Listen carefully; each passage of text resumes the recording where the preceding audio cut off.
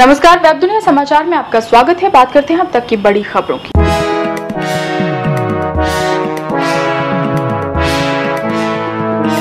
Japan में चाकू से किए गए हमले में 19 लोगों की मौत।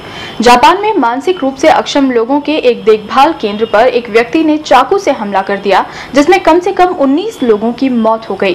स्थानीय अग्निशमन विभाग के एक प्रवक्ता ने बताया कि टोक्यो से 50 किलोमीटर दूर सागा मिहारा शहर में हुए इस हमले में 25 अन्य लोग घायल हो गए हैं, जिनमें से 20 की हालत गंभीर है।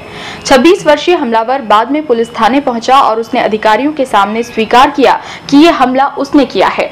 उसने बताया कि वो केंद्र का एक पूर्व कर्मी था असाही शिम्बून समाचार पत्र ने पुलिस के हवाले से बताया कि संदिग्ध ने कहा, सभी निशक्त जन खत्म हो जाने चाहिए।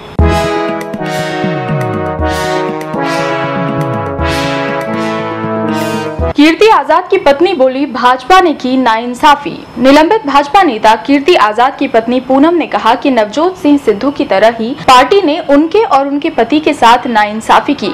इस तरह की अटकलें हैं कि भाजपा की दिल्ली इकाई की प्रवक्ता और तीन बार भाजपा की राष्ट्रीय कार्यकारिणी की सदस्य रह चुकी पूनम आम आदमी पार्टी से जुड़ सकती है। उन्होंने कहा कि सिद्धू जी जो कह रहे हैं वो पूरी तरह सही है।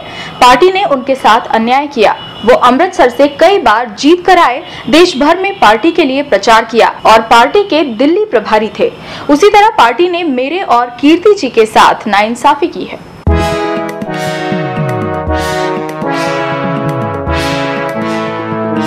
किंगफिशर का बयान 6000 करोड़ का ऋण चुकाने की ज़िम्मेदारी नहीं।